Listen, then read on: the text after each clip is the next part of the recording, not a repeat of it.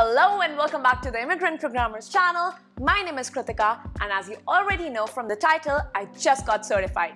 So recently I completed my CSM training and for those who don't know what CSM is, it stands for Certified Scrum Master. And good news, I also passed the CSM exam. So in a sense, you're now looking at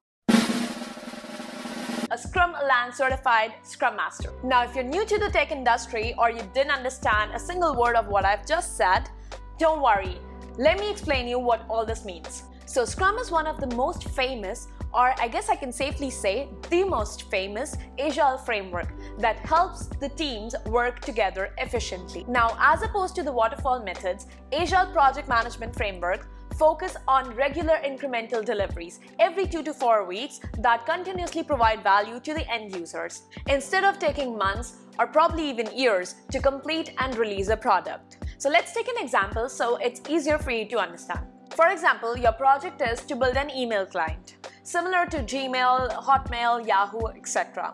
So if we go by the waterfall approach, the development team, let's say, takes six months to build the entire email client, and then the end user will only get to see this email client, complete functional email client, at the end of these six months, right? Now, on the other hand, if you use one of the Agile frameworks, let's say Scrum, you will be able to provide small incremental deliverables every two to four weeks to your end user. Let's say in the first iteration, you decide to provide the compose email functionality. In the next iteration, you take your first increment and build over it. So now you also add the delete email functionality. So in the third iteration, you can add labels, folders, and so on and so forth. Now the point that I'm trying to make here is that using Agile frameworks, your end user will always be involved in your process since the very beginning. They will be there to give you feedbacks, this way, you'll always know that you're building the right product that will exactly fit their need. This is just one of the many advantages of using an Agile framework. Now, the Scrum Master plays a vital role in properly implementing the Scrum framework to fully realize its potential and to maximize the value we get from implementing it. Okay, now I know what you're wondering, why all of a sudden I'm creating this video out of nowhere. So I believe that if you want to grow at your tech job and you don't want to stay a developer all your life, there's two ways you can do that. And there's two trajectories that you can choose from. Number one, so you're a fresher. You start as a junior developer, then you gain some experience, you go become a senior developer or even a team lead sometimes.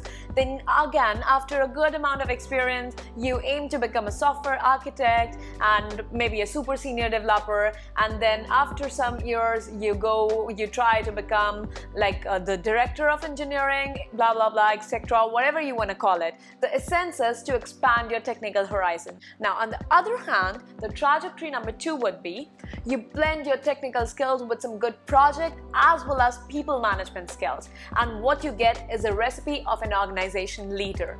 Then you're a planner, a problem solver, and a helper. And that's what I aspire to be. Alright, so if just like me, the latter field interests you more, you can have two choices to follow through.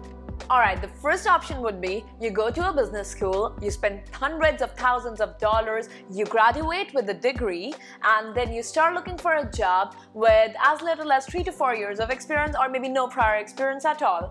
Well, I don't know about you, but I don't feel comfortable going under that kind of a debt as of now.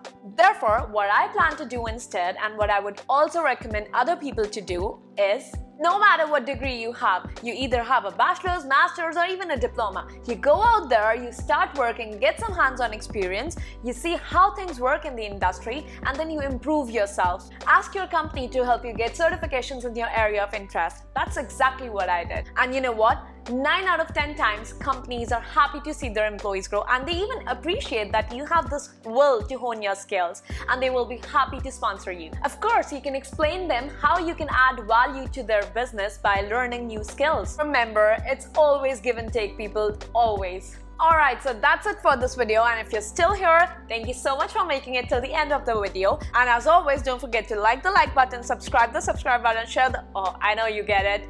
And thank you for appreciating our work. Also, let me know what part do you see fit for yourself down in the comment section below. Thank you, have a great day.